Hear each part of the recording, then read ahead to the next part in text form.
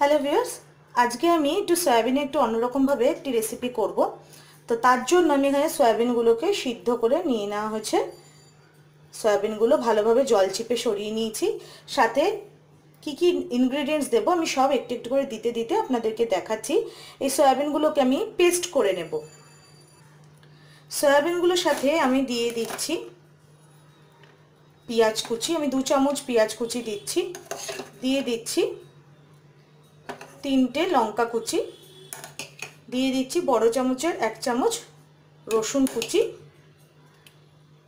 আর দিচ্ছি সাথে দুটো সিদ্ধ আলু। দুটো সেদ্ধ আলু মানে হচ্ছে পুরো বড় সাইজের একটা আমি গোটা আলু নিয়েছি। আপনারা মাঝারি হলে আপনারা দুটো নিতে একটা নিতে পারেন, সেটাকে কেটে দিয়ে দিতে পারেন।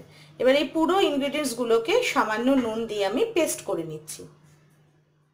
দেখুন ভিও সেখানে আমি সয়াবিন, আলু, পেঁয়াজ, লঙ্কা, রসুন সব কিছু কিন্তু পেস্ট করে তুলে নিয়েছি। সাথে আমি সামান্য নুন দিয়েছিলাম। এবারে আমি যা যা ইনগ্রেডিয়েন্টস অ্যাড করব, তার মধ্যে দেখাচ্ছি, দিচ্ছি সামান্য একটু হলুদ গুঁড়ো। যেহেতু কোপ্তা করব, সুতরাং একটু স্পাইসি একটু মশলাদার হতে হবে। আমি তাই অ্যাড করলাম জিরে গুঁড়ো। দিয়ে দিচ্ছি সামান্য একটুখানি লঙ্কা গুঁড়ো অ্যাড করছি বড় চামচের এক চামচ বেসন এবং ছোট চামচের এক চামচ কর্নফ্লাওয়ার। এবার এই ইনগ্রেডিয়েন্টসগুলোকে দিয়ে একসাথে ভালোভাবে আমি মিক্স করে নিচ্ছি। তাতে একটা বাইন্ডিং চলে আসবে, যাতে যখন ভাজবো তখন কোপ্তাগুলো আমার এখানে খুলে যাবে না। ভালোভাবে আমি মিক্স করে নিচ্ছি। দেখতেই পাচ্ছেন যেই একটুখানি কর্নফ্লাওয়ার আর বেসন অ্যাড করলাম, সাথে সাথে কতটা বাইন্ডিংটা কতটা ভালো হয়ে যাচ্ছে। এতক্ষণ লিকুইডই একটু ফর্মে ছিল, এখন কিন্তু একটা ভালো বাইন্ডিং ফর্ম এসে গেছে। এবার আমি আরও দু মিনিট একটুখানি রেখে দিচ্ছি। ততক্ষণ যখন আমি কড়াইটা গরম বসিয়ে একটু বেশি করে তেল দিয়ে কড়াইটা গরম বসিয়ে ফেলি।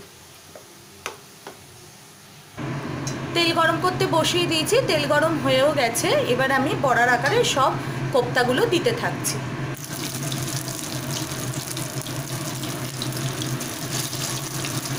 এরমভাবে আমি বড়ার মতো দিয়ে দিলাম, বা ভালোভাবে ফ্রাই হলে আমি অপোজিট উল্টে দেবো।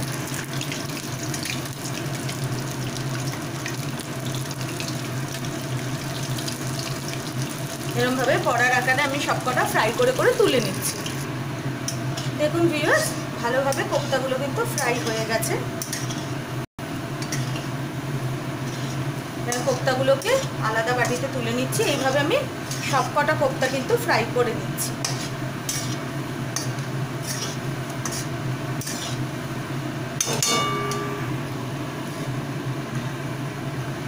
সেট ভাজা হচ্ছে। বাকিগুলো কিন্তু আমি ভেজে তুলে নিয়েছি।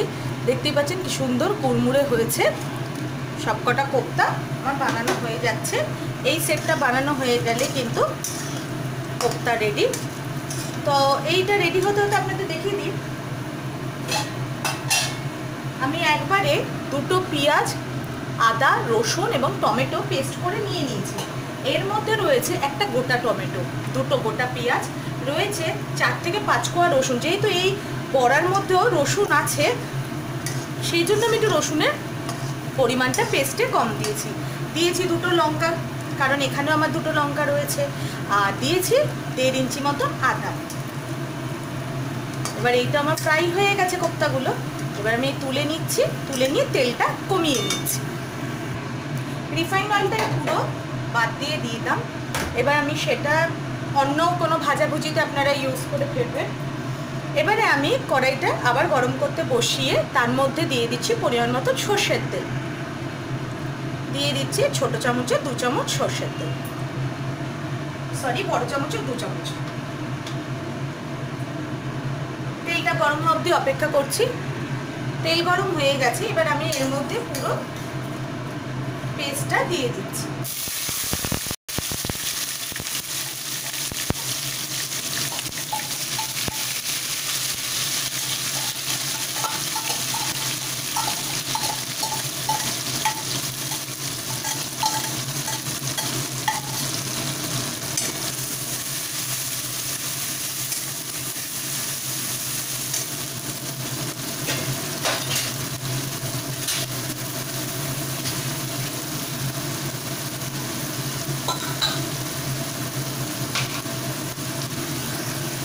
দিচ্ছি, সামান্য নুন। দিয়ে এবার মশলাটাকে ভালোভাবে কষিয়ে নেব। আপনারা চাইলে আলু দিতে পারেন, কিন্তু আমি এই কোপ্তা কারিতে আলু দিই না। আপনারা যদি আলু দেবেন মনে করেন, তাহলে কিন্তু অবশ্যই আলুটাকে ভালোভাবে ভেজে, এমনভাবে ভাজবেন যাতে আলুর ভেতরটা পুরোপুরি সিদ্ধ হয়ে গিয়ে থাকে। কারণ এই যখন এই কোপ্তার এই রেসিপিটা আমাদের হয়ে যাবে, তখন জাস্ট মশলাটার সাথে আমি কোপ্তাগুলোকে মিশিয়ে দেবো। তো আলু যদি আপনারা ভাবেন যে যে না, এরপর আলু ভেজে সেটাকে মিক্স আপ করবেন, তাহলে কিন্তু আলুটা কাঁচা থেকে যেতে পারে। সেই জন্য আলুটা দিলে ওইভাবেই দেবেন এবার গ্যাসের ফ্লেম কমানো অবস্থায় ভালোভাবে আমি মশলাটিকে কষতে দিচ্ছি। মশলাটা কিন্তু কষে এসছে এবং চারদিক দিয়ে তেল ছাড়াও শুরু করে দিয়েছে। এবার আমি এর মধ্যে এক এক করে ইনগ্রিডিয়েন্টগুলো দিতে থাকব। প্রথমে দিচ্ছি একটু হলুদ গুঁড়ো।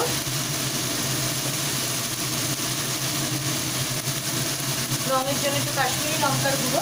আর ঝাল লঙ্কার গুঁড়ো ইউজ না, কারণ মশলার মধ্যেও কিন্তু দিয়েছিলাম। এই কোপ্তাগুলোর মধ্যে ঝাল লঙ্কার গুঁড়ো দিয়েছি। দিচ্ছি একটু জিরের গুঁড়ো সামান্য ধনে গুঁড়ো। দিয়ে দিচ্ছি ছোট চামচের হাফ চামচ চিনি। এবার মশলাটাকে আরও ভালোভাবে কষিয়ে নিচ্ছি।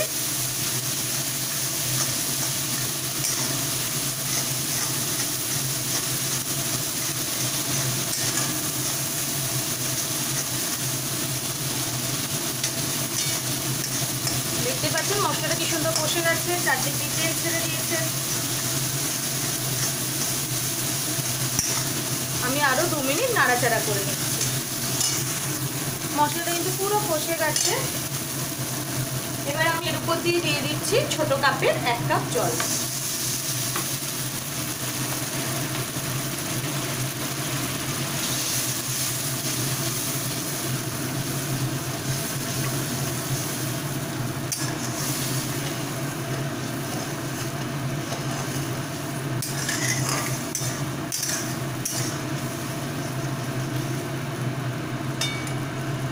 একটু ফুটে নিতে দিচ্ছি।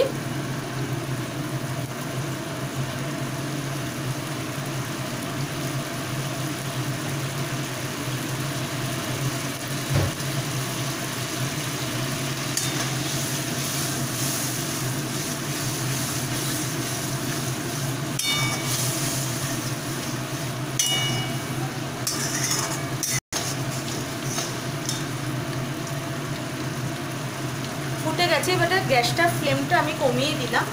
দিয়ে একটুখানি মশলাটাকে রেডি হতে দিচ্ছি।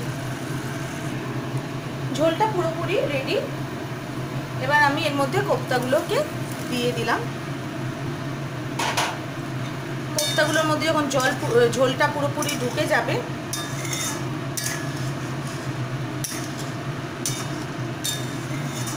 তখন আমরা গ্যাসটাকে অফ করে দেব। এবার গ্যাসের ফ্লেমটাকে একদম কমিয়ে ঢাকনা দিয়ে আমি রেখে দিচ্ছি। দেখুন ভিউয়ার্স কোপ্তাগুলো পুরো ঝোল টেনে কি সুন্দর ফুলে উঠেছে।